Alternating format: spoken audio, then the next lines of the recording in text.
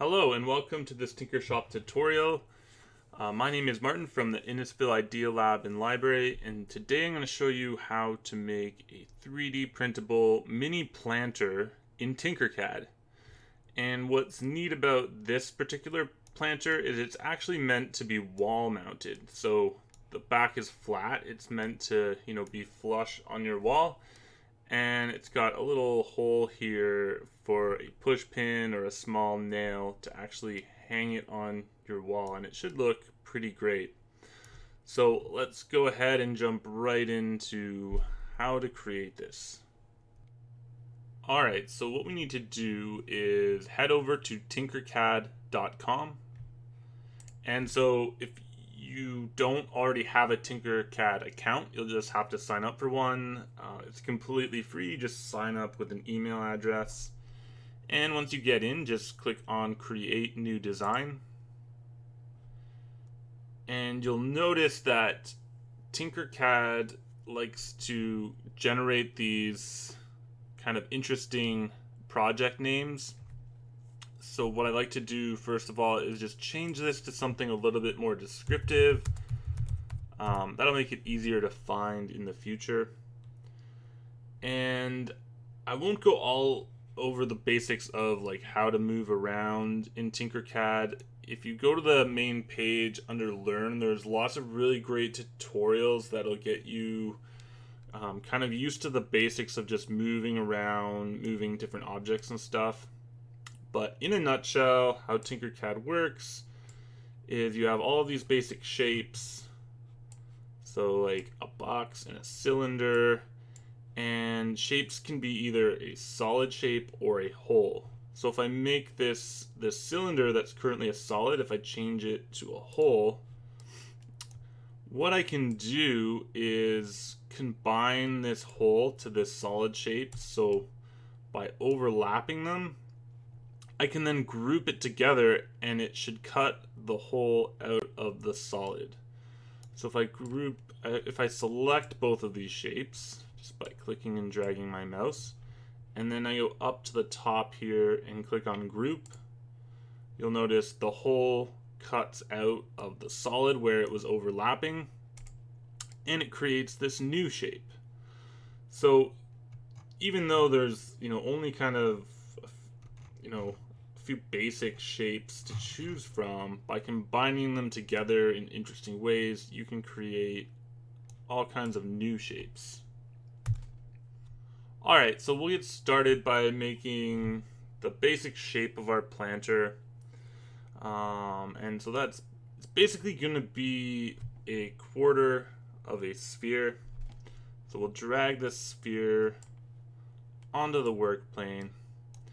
And basically what we're going to want to do is slice our sphere in half vertically and then slice it in half horizontally so we're just left with this quarter and then we'll hollow it out. Um, so the first thing I like to do is drag a ruler onto the work plane. So if you go up here to ruler, just click and drag that down and just snap it to the corner of the work plane. And you'll notice now with this ruler, when whatever object I have selected, it will display its dimensions. So it makes sizing objects and just working with them in general a lot easier. Um, and by default, um, the dimensions that it shows are in millimeters you can change it to inches or centimeters. I'm just gonna leave it because that's fine. I can work with millimeters. Um, so let's size this. Um, we want our planter, it is a mini planter, so we want it to be fairly small, but big enough, you know, that it can hold some soil and some roots. So let's make this 10 by 10 centimeters. So that'll be um, 100 by 100 millimeters. So for the width here, I just click inside this box and type in 100. And then we'll do the same for the depth. Just click there and type 100. And also for the height, 100 millimeters. All right, so it looks quite large, um, but you can always change the size of the work plane as well. Um, and this zero value here actually just represents the height of our object um, in relation to the work plane. So because it's sitting right on the surface, it's it's at zero. If we raised it up, it would that number would increase. Um, but more on that later. So the next thing we're going to want to do is slice this in half vertically. So I'm going to grab a box and actually use this, grab this box that's already a hole and drag it in. And we just want to resize it so that it's um, bigger than the, the sphere.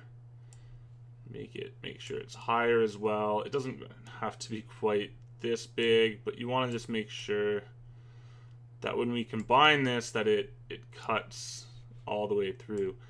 And then just position that so that it's about halfway through. And if I zoom in actually underneath, you can see that's kind of where the center is right there. So we'll slice it right there. And basically everything that is inside of this this hole, this this box, is just gonna disappear. So we have our hole selected, and then I'm gonna hold shift on the keyboard and click on our sphere. So now we can see they're both selected. And then I'll just go up to the top here and click group. Awesome, so that looks great. And now we just gotta slice it in half one more time horizontally. So we'll grab another box and we'll just make sure it's bigger than our sphere. And then just cover the whole sphere. And then I'm going to click on this arrow and just raise it up till it's covering about half of it. So I think that looks pretty good. You just kind of have to eyeball it. And then I'm going to hold shift because right now just the hole is selected so I'll hold shift and then click on our half sphere. Now they're both selected and I can click on group. And there we go we have the basic shape of our planter. Alright so now we need to hollow it out.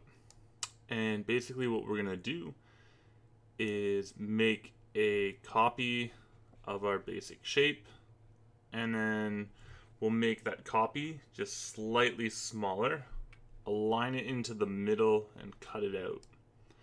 So let's just move this over a little bit.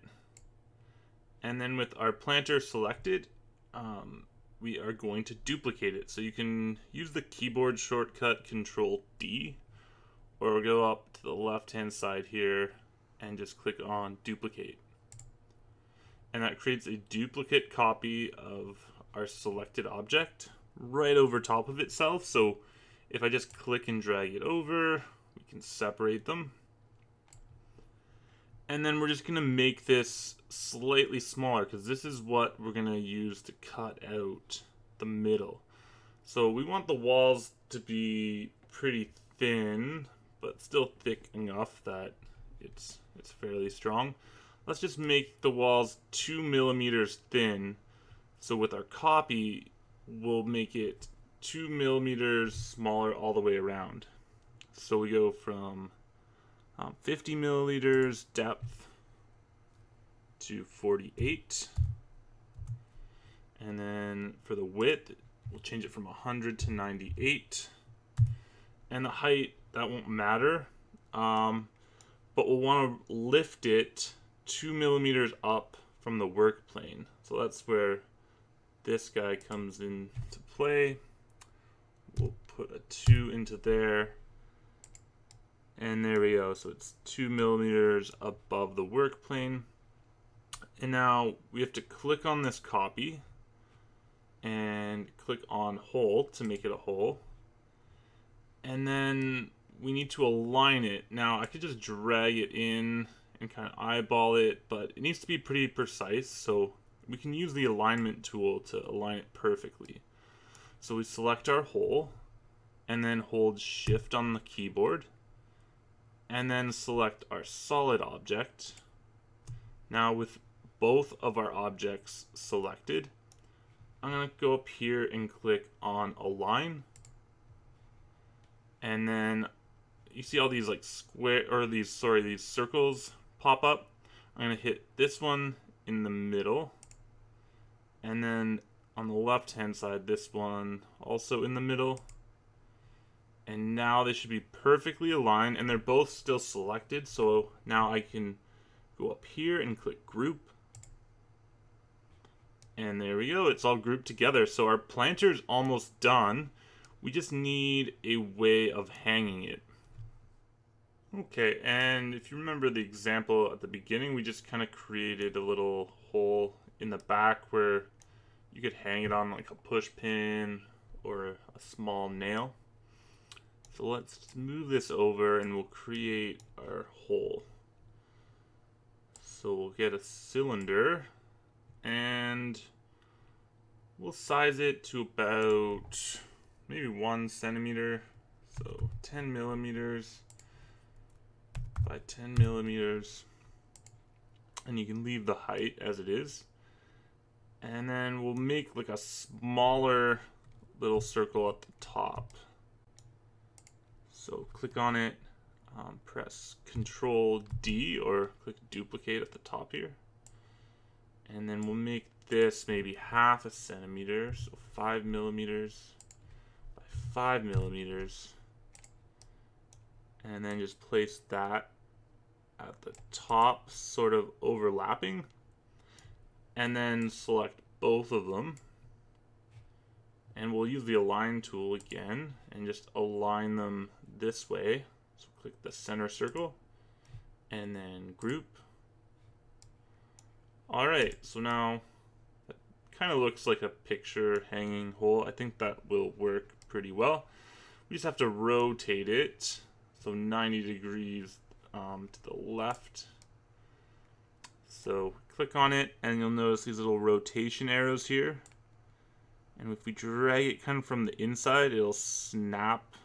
Um, just drag it to 90 degrees. And then raise it up. We'll just kind of position it where we want it. So just kind of like that in terms of the height. Okay. And then let's center this. So select the whole thing. Click the align tool. Click the middle circle. And then group. There we go.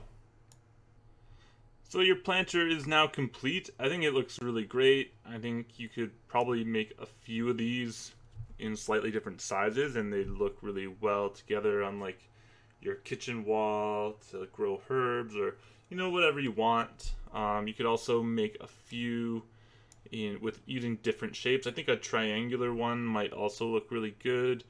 Um, you could make your own way of hanging it um, this is just one way I kind of thought of. Um, when you're done, of course, you want to click on export and make sure you save it as an STL file and that'll be ready for 3D printing.